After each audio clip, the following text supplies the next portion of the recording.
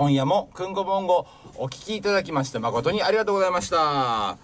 えー、すごいね、ゴールデンウィークだっていうのにさ、山盛りだよ、メッセージ。嬉しいね。えー、でもなんとか曲は一曲かけれなかったな。えー、で、その今、えーこの前サポートしたアフロベゲの曲、途中で下ろしちゃった。えー残念でした。もうちょっとね、余裕を持って、でもまあ余裕持ってやれた方かな。えーとは思いますが、えー新しい、というかその、新しいというか素晴らしいアーティストが山のようにやっぱりね、いるわけですよ。なので紹介したいなと思いまして、結構長い曲もかけてしまいました。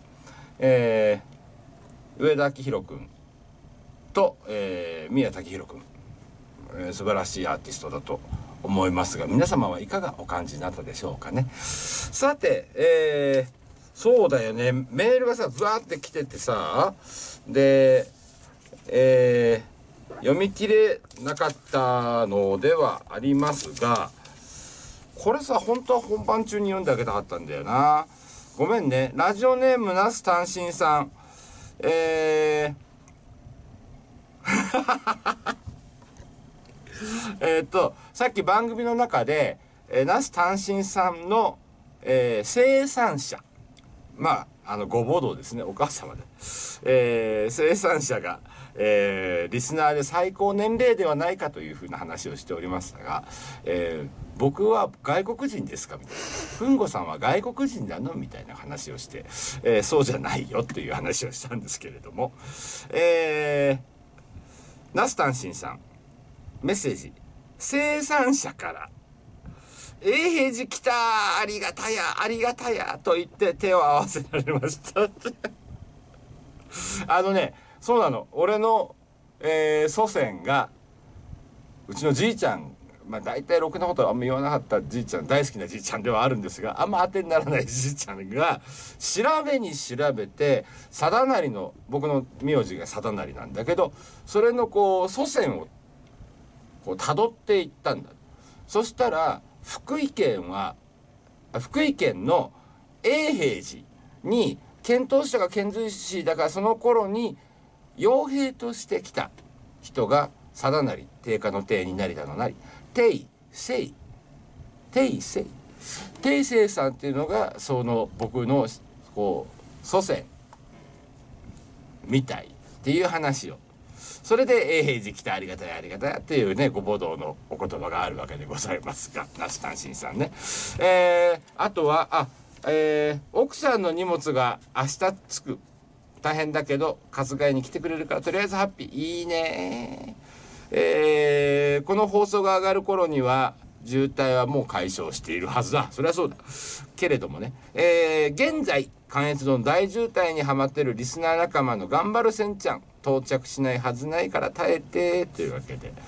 ねえ、えー、これ読んであげたかったな。ごめんね。ナスタンシンさんありがとう。えー、長野ドトノムさん。えー、渋滞、サブテーマ。渋滞、合わねえよ。出かけてないもの。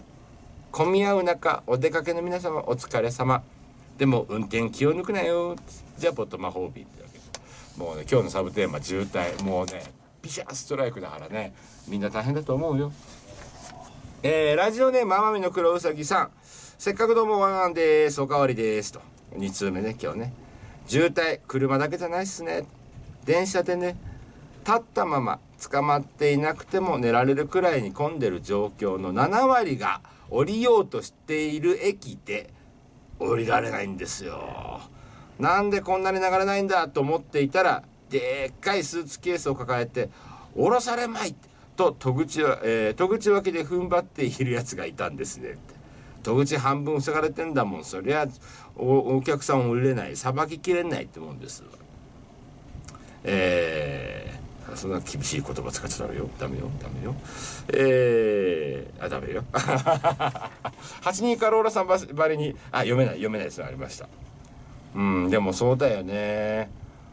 お一回降りりゃいいのね。うん。とは思うが。えー、奄美の黒うさぎさん、ありがとうございます。えー、バッファローウィングさん、さっきごめん読み切れなかった。えーいつもメッセージありがとうございますえー、くんごさんこんばんは今さっき3歳の子供と超本気で神経衰弱をやって普通に負けたバッファローウィングですとりあえず湯船に浸かったらハッピーですよ。水鉄砲とか、えー水鉄砲とかあるともっとハッピーですね。と、えー今日は仕事で東京だったのでもろに渋滞にはまりましたよ。下道も渋滞してるから下手に抜け道とか行かない方が早いですね。ではまたそうなんで下道渋滞ひどいよ。軽井沢からここに来るんだってさいつもよりやっぱ多かったから遅れちゃった。いつもよりは遅れた。ね。えー、バッファローウィングさんありがとうございます。さあそして本日もやってまいりました。この動画の鉄板メニューでございます。いくか。ラジオネームダークネス勇気師匠こんばんは。日曜から仕事なので今日含めてあと3日しか休みがない弟子でございます。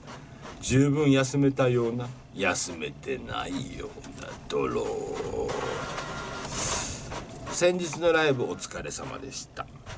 休みの初日だったのと会場が居酒屋だったので案の定飲みすぎて早めにリタイアしてしまいました。行きたかったな2軒目。闇落ちなお帰り道が長かったことは言うまでもありません。これはあのあれだよ、えーこの前アフロベゲのサポートをして、えー錦糸町で、えーしそのライブやってその後三軒茶屋に流れ。でまあまあ半蔵門線乗せたわけですよ。で三軒茶屋で僕ら降りたんですけれどもゆうきくんも一緒だったんですよ。で、ね、ゆうきくんはうんって感じだったのでじゃあっつって。もういいほとほとっつって降りて僕らは飲みに行ってゆうきくんは行ったり来たりしたらしいですよ。執着執着。あね。えーさてさて。久しぶりに前置きが長くなりましたが今月のテーマとりあえずハッピー。車車カー車。でいかんいかん。ダークネスにハッピーなんて存在しないんじゃこらこらハッピーなんぞどっか行けドローン無理がある。えー車買ったんだね。おめでとうございます。えーサブテーマ渋滞。車の渋滞とは無縁でしたが博物館内はゴールデンウィークなので大渋滞でしたよ。ちなみに混んでいる中で見たくない時はワンセクション飛ばして見てから戻ってくるのがおすすめです。あ博物館の見方だね。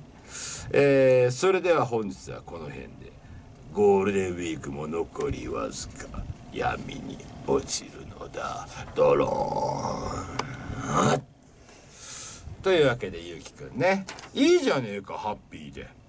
なあハッピネスゆうきになろうよ。頑張りましょうみたいな感じでさ。えーそんなわけで、えー車ねご購入おめでとうございますゆきくんね。